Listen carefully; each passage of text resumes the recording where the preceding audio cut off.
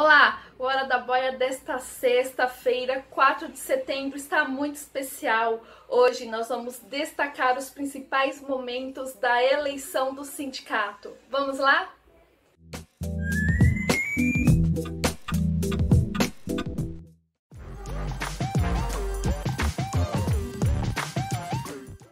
A Força Operária Chapa 1, liderada pelo atual secretário-geral do Sindicato dos Metalúrgicos de Osasco e região, Gilberto Almazan, foi eleita nesta quinta-feira para dirigir a entidade pelos próximos quatro anos.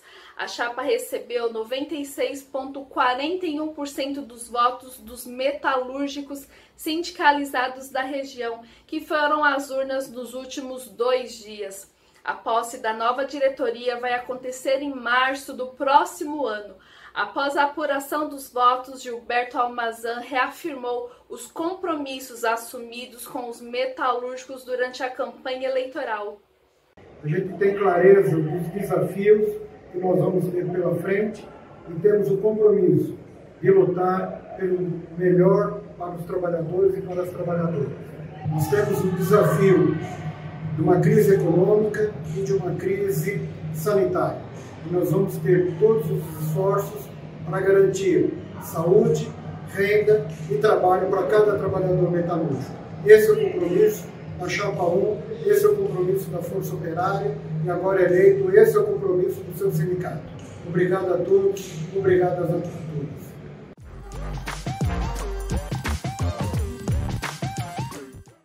As eleições aconteceram na quarta e quinta-feira, com urnas fixas nas sete subsedes do sindicato e com urnas itinerantes que passaram em diversas fábricas da região, como na Simpal, Spal, Meritor, Lau Indústria, Alvênios, Vicom, Vap Metal, Ficosa, Semicron, Arinha e Grecon. Além do Gilberto Almazan, eleito presidente da entidade, a Chapa 1 conta com outros 27 integrantes, que vão formar a diretoria. Jorge Nazareno, atual presidente do sindicato, é um deles.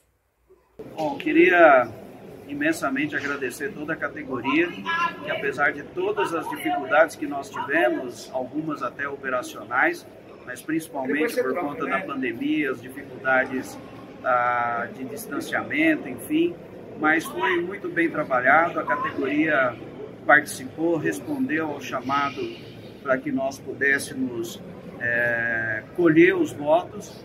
É, foi um percentual muito significativo de, de, pessoas que votaram e quero imensamente agradecer em nome da, da, diretoria do sindicato e que os companheiros continuem acompanhando o trabalho da diretoria, participando das atividades e dos desafios que nós temos pela frente. Teremos uma campanha muito difícil e ainda com fortes riscos de perdas de direitos dos trabalhadores por conta das políticas desse governo.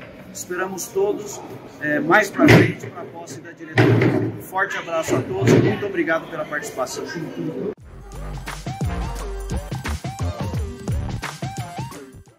Realizado pela Federação dos Metalúrgicos do Estado de São Paulo, o processo eleitoral foi democrático e transparente e contou com a colaboração de uma comissão eleitoral experiente em eleições sindicais, com membros de diversos representantes de sindicatos metalúrgicos de todo o estado de São Paulo, como de São José do Rio Preto, Serquilho, São Paulo, Santo André, São Caetano, Embu Guaçu, Jundiaí, Laranjal Paulista, Guarulhos, Suzano e Ferraz de Vasconcelos.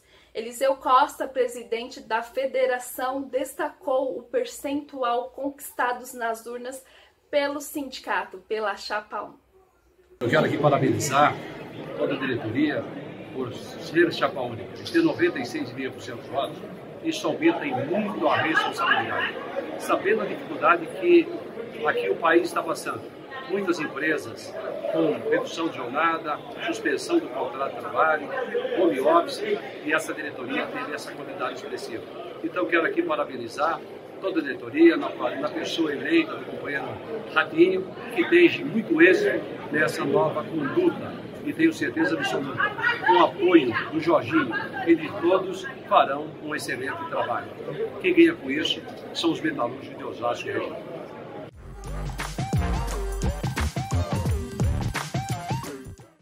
presidente da Força Sindical, Miguel Torres, disse que o resultado das eleições é reflexo do trabalho desenvolvido pelo sindicato e reforça a aprovação da categoria na atuação da diretoria.